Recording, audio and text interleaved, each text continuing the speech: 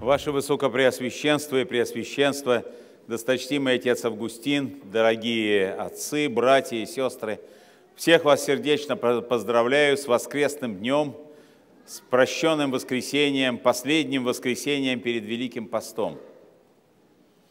Это воскресенье э, включает в себя воспоминания об изгнании первых людей из рая – и совершенно не случайно именно эти воспоминания предлагаются нам всем для размышлений в преддверии Великого Поста. Все знают эту библейскую историю о том, как э, Господь изгоняет первых людей из рая, отлучает их от общения с собой, потому что они нарушили Его заповедь. И вот э, возникает вопрос, а не чрезмерным ли было наказание? И для того, чтобы понять, что наказание было не чрезмерным, достаточно задать себе вопрос, а что означало для первых людей нарушение Божией заповеди?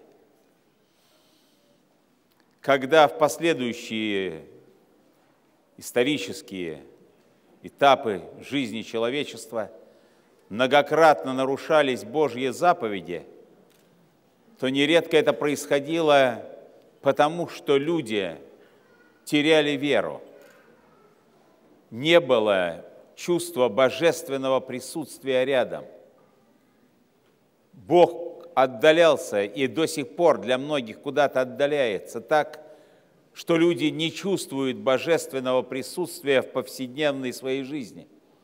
И в этих условиях нередко исполнение заповеди становится неким формализмом. А формально исполнять то, что требует от человека напряжения сил, воли, практически невозможно. Но ведь первые-то люди не сомневались в Божьем присутствии. Он говорил с ними, они общались с ним. Не было никаких оснований усомниться в его существовании. А что же произошло? А первые люди были искушены дьяволом, который заставил их усомниться не в бытии Божием, а в справедливости Божьего мира. Он сказал им, вкусите от запрещенного древа – и станете как боги. Но ведь именно к тому же Господь призывал людей приблизиться к Нему. Он создал их по образу, по подобию, то есть вложил в них способность приблизиться к Богу в своей жизни, развить Богом заложенные в человеком черты, отображающие Его образ. Но для того, чтобы уподобиться Богу, идя по тому пути, по которому Бог предложил людям, нужно было напряжение воли, мыслей, чувств, концентрация усилий. А дьявол предложил простой магический способ. Вкусите от этого древа, и тут же в одночасье, без всякого труда, без всяких усилий, никому это не надо, вы станете как боги и усомнились люди не в божественном существовании, а в справедливости Его заповеди, в мудрости Его замысла и нарушили заповедь. В этом нарушении недоверие к Богу. А что такое недоверие к Богу? Это ослабление веры или даже неверие. Они в существование Бога верили, а в Его всемогущество, в Его благость, в Его любовь, в Его промысл не верили.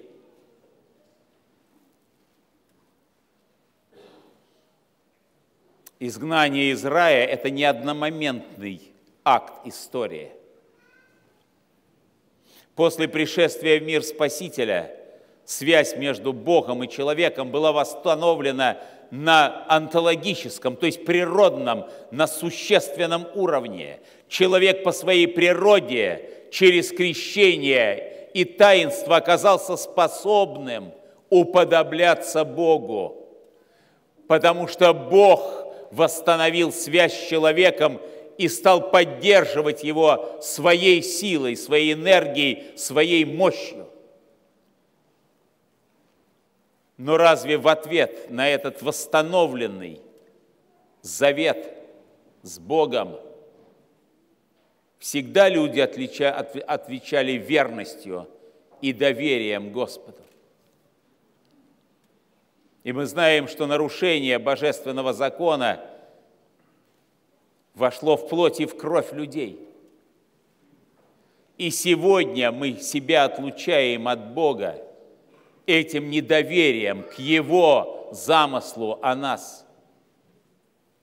Мы часто допускаем само присутствие некоего божественного начала в природе, потому что, взирая на мир – невозможно исключить из него Творца.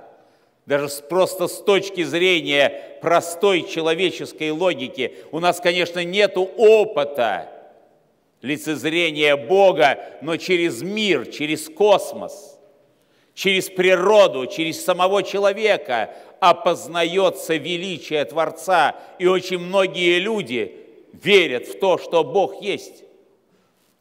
И на этом все заканчивается. А вот доверие к Его заповедям, к тому, как Бог являет себя в истории, как Бог являет себя в личной жизни, очень часто не существует. Все мы знаем, что нередко, особенно проходя через тяжелые обстоятельства жизни, мы говорим, но где же Бог? Мы говорим так, когда видим торжество несправедливости – когда видим торжество беззакония, то задаем себе этот вопрос. Мы как бы не видим Божьего присутствия в жизни. Нам кажется, что мир – это стихия, что какие-то темные силы управляют человеческой историей. И на нашей иногда личной жизни так возникают сомнения в том, что Бог способен нам помочь. И возникает недоверие к Богу, не столько рациональное, умственное, сколько на бытовом уровне.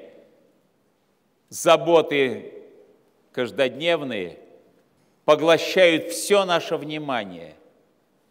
И мысленно, умственно, не исключая Божьего присутствия, мы живем так, как будто Бога нет, повторяя тем самым грех прародителей.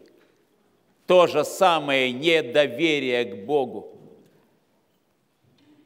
А почему мы думаем, что нас минует то же самое наказание, изгнание из рая?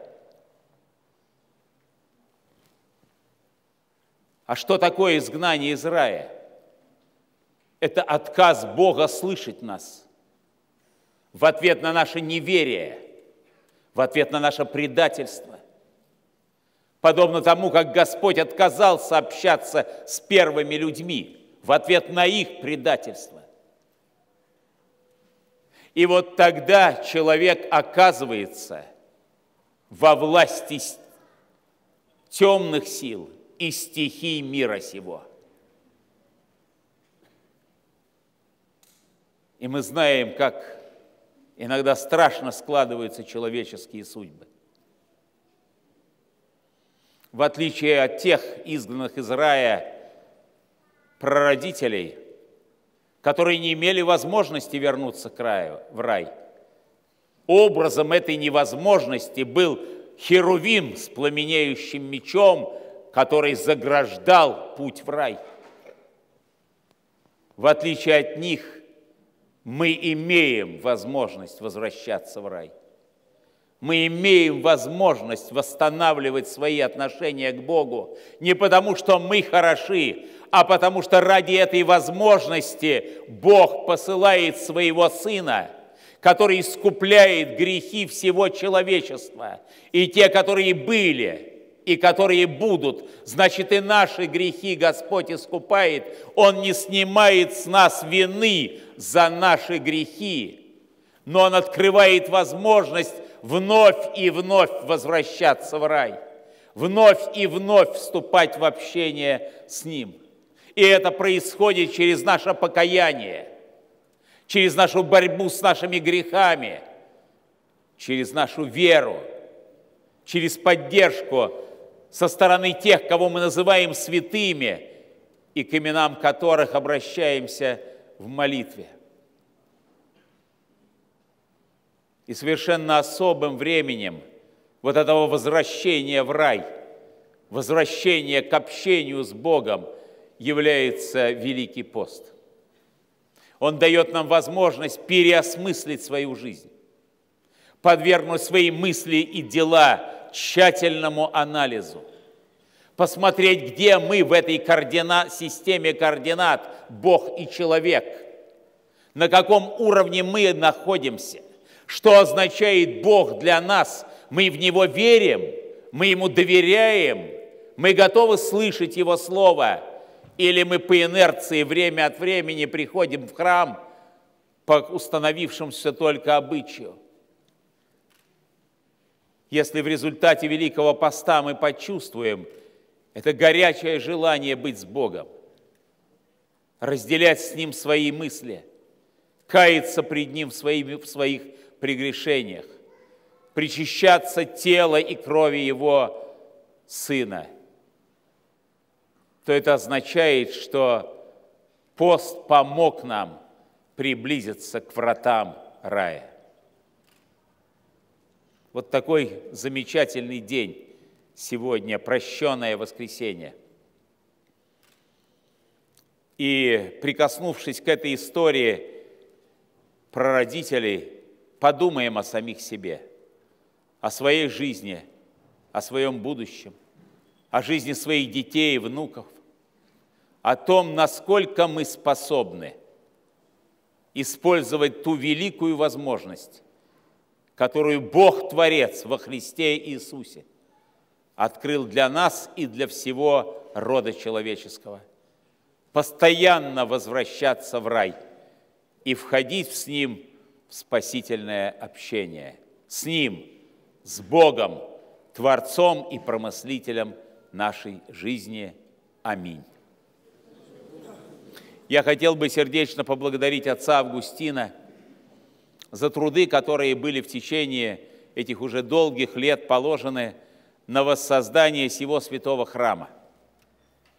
Это один из известных приходов, храмов города Москвы, он был построен здесь, на Семеновском кладбище, одном из самых почитаемых кладбищ города Москвы. Но в послереволюционные годы варварски, безумно кладбище было уничтожено. На территории этого кладбища построен завод, еще какие-то учреждения, а в 60-е годы в разгар – хрущевских гонений бульдозером были снесены все остальные могилы. Иногда мы задаем вопрос, а за что нам все то, что мы иногда в жизни своей испытываем плохого, нехорошего, не просто в личной жизни, а даже как страна. А возникает вопрос, а кто наказан за это преступление? Уничтожение гробниц наших предков. И если те безумные люди, одержимые идеологией и безбожием, ничего не понимали, то мы-то с вами понимаем. И для нас это должны быть, должно быть очень страшным уроком того, как нельзя приступать к черту божественного закона. Мы не можем восстановить этих могил, но мы можем молиться о тех людях, которые здесь похоронены, похоронены и имена которых знает только один Господь. Вот и сегодня мы совершили здесь такое поминовение, поминовение во, во время божественной литургии. Я просил бы, чтобы такое поминовение совершалось каждый день, потому что нужно замаливать грехи наших предков и молиться об усопших, которые лежат на этом Семеновском кладбище. Я еще раз хотел бы выразить благодарность за то, что, несмотря на эти трудные внешние обстоятельства, под вашим водительством, отец Августин, восстановлен полностью этот храм более чем в своем первоначальном великолепии.